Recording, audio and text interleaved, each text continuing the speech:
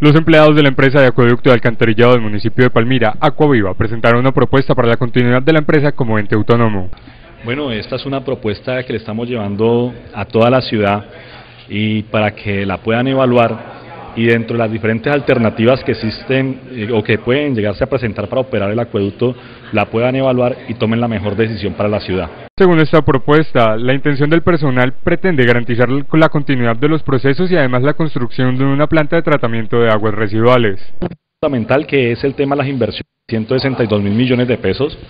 eh, eh, 91 mil en alcantarillado con una componente muy importante que tiene que ver con la PETAR, que es la planta tratamiento de aguas residuales, que lo que va a ayudar es a un impacto ambiental importante para el departamento del Valle, porque va a impactar al río Cauca como tal.